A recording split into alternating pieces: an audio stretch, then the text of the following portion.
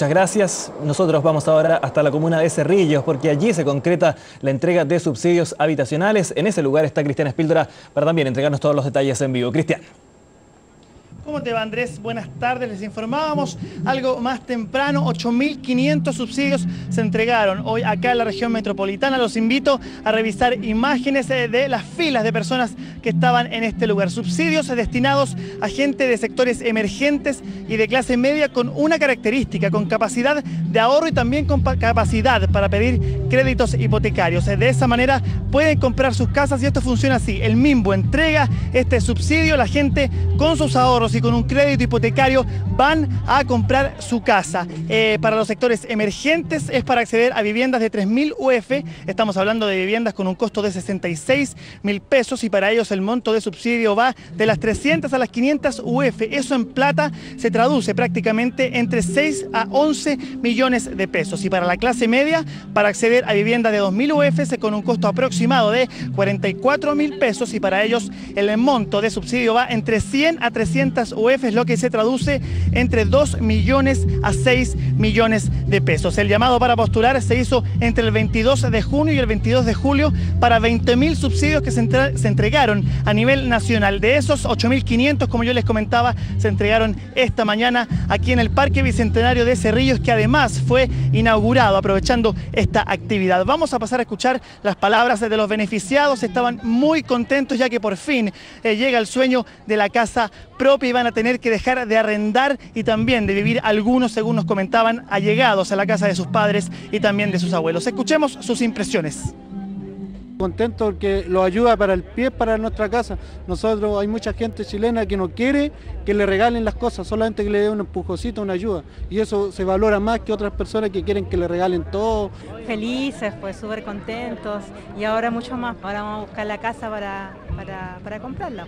Tiene una huevita y van a tener la pieza. Claro, exactamente. Ahora va a tener su pieza más grande. Es un sueño alcanzado después de tanto tiempo de haber estado ahorrando y bueno, en mi caso haber estado arrendando que es casi echar la plata en un saco roto, pero bueno, desde ahora que, que pueda postular el crédito y obtener el subsidio ya voy a pagar mi casa. Saltamos de alegría, saltamos, o sea, nos abrazamos, feliz. Yo creo que el mejor, algo que mejor correo, sí, el mejor correo que nos puede haber llegado el que llegó ahora, el último. Así que felices todos muy felices, como escuchábamos, soportando un intenso calor que hasta ahora eh, cae sobre la ciudad de Santiago, haciendo filas en unas carpas que estaban dispuestas con sus apellidos a través de eh, orden alfabético para poder ir retirando este subsidio habitacional que beneficia a sectores emergentes y también de la clase media. Estuvimos también conversando, por cierto, con el ministro de Vivienda y Urbanismo, Rodrigo Pérez Maquena, quien nos va a entregar más detalles de cómo funciona este subsidio habitacional. Escuchemos sus palabras el subsidio que está hecho a la medida eh, de las posibilidades, las necesidades de cada uno. Cada uno elige lo que quiere, el precio que quiere, cuánto quiere endeudarse, en ese sentido un llamado a que se haga responsablemente para que no haya problemas después y sobre todo tienen 21 meses ahora para elegir su casa y por lo tanto que busquen, que comparen precios, calidades, tamaño, ubicación y también el financiamiento, que busquen el mejor financiamiento, el que sea más económico en caso de que vayan a requerir financiamiento bancario. Así que yo creo que hoy día es un gran día para la clase media.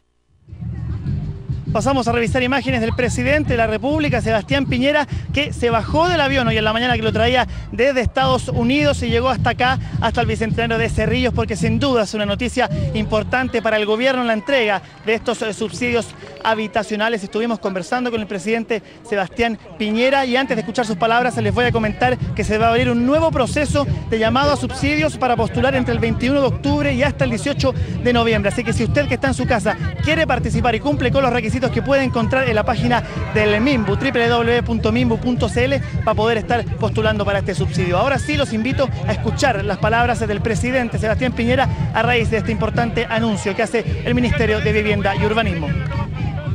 El programa de subsidio a la vivienda para nuestra clase media está hecho de acuerdo a las necesidades y a las aspiraciones de la clase media.